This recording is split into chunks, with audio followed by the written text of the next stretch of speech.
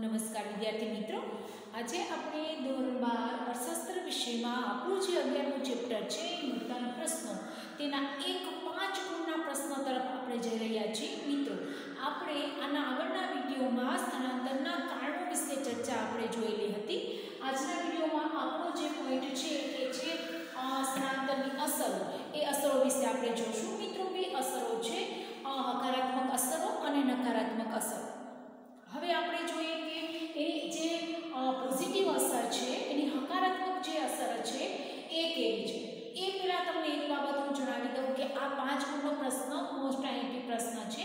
તમને એ રીતે પણ પૂછી શકે કે સ્થળાંતરનો અર્થ જણાવી તેની હકારાત્મક અસરો સમજાવો અથવા તો સ્થળાંતરનો અર્થ જણાવી તેમની હકારાત્મક તથા નકારાત્મક અસરો સમજાવો અથવા એ રીતે પણ પ્રશ્ન પૂછી શકે કે માત્ર હકારાત્મક અસરો સમજાવો જે તમને ત્રણ ગુણની અંદર ડી વિભાગમાં પણ પ્રશ્ન પૂછી શકે. એ દ્રષ્ટિએ આ પ્રશ્ન છે એ મોસ્ટ આઈએમપી પ્રશ્ન છે. પણ ખૂબ જ સહેલો અને મુદ્દાવાળો પ્રશ્ન છે. એટલે આપણા માટે ખૂબ ઇઝી પડી જશે. અહીંયા આપણે જોઈએ છીએ એની હકારાત્મક અસ- અસરો પોઝિટિવ અસર કે સ્થળાંતર કરવાથી શું ફાયદો થાય છે?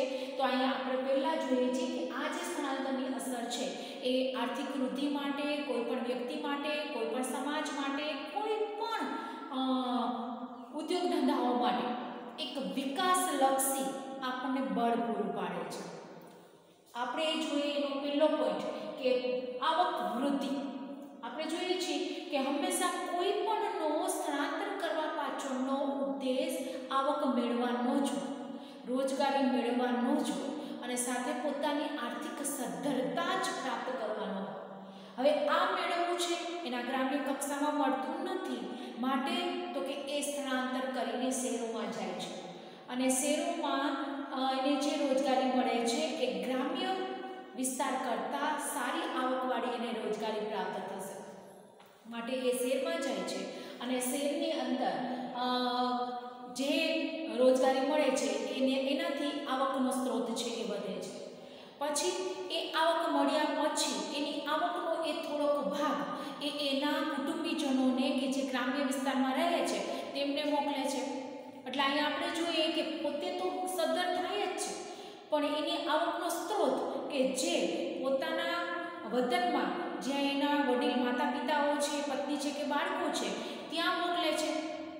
એટલે ગામડામાં એની જે આધારિત વ્યવસાય હોય અથવા તો એની ખેતી જે કંઈ પણ છે, એ સદ્ધર બનશે. કેમ કે આવકનો ઉપયોગ એ ખેતી માટે કરશે. ખેતીમાં સારામાં સારા બિયારણ ખરીદશે, સારામાં સારી ટેકનોલોજીનો ઉપયોગ કરશે. બીજી કોઈ પણ બાબતો જંતુનાશક દવા રાસાયણિક ખાતર એમનો છે ઉપયોગ કરશે, તો એ રીતે એની આવક કે જે બહારથી એના બાળકોએ મોકલેલી હતી, જેનો ઉપયોગ એ પોતાના ગ્રામ્ય વિસ્તારમાં, પોતાના વ્યવસાયમાં કરે, તો એની ખેતી પણ સદ્ધર બનશે. હમણાં થોડાક છેલ્લા સમયોથી આપણે જોઈએ, તો ખેતી તો સદ્ધર થાય છે, પણ એ લોકો જે પૈસા આવે છે એના બાળકો મોકલે છે, તો એ પૈસાનો ઉપયોગ એ નવા વ્યવસાયમાં પણ રોકે છે. નવા ઉદ્યોગ ધંધાઓ શરૂ કરવા પાછળ પણ રોકે છે. તો એ રીતે પણ એ પોતે આર્થિક દ્રષ્ટિએ સદ્ધર બનશે. તો આ એટલા માટે શક્ય બન્યું કે એનો કોઈ પણ ઘરનો વ્યક્તિ એક સ્થળાંતર કરીને બહાર ગયો કે જેથી એને આવક મળી ને આવકના સ્ત્રોતથી એ સદ્ધરતા પ્રાપ્ત કરી શક્યા. એટલે મુખ્ય આવક વૃદ્ધિ એ એની પોઝિટિવ અસર છે.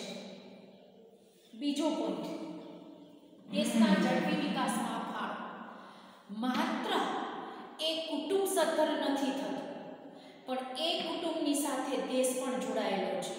આવા અનેક કુટુંબો છે, એ બહાર સ્થળાંતર કરે છે અને જેનો ફાયદો એના ઘર સિવાય દેશને પણ થાય છે, કારણ કે એને આવક મળશે, રોજગારી મળશે.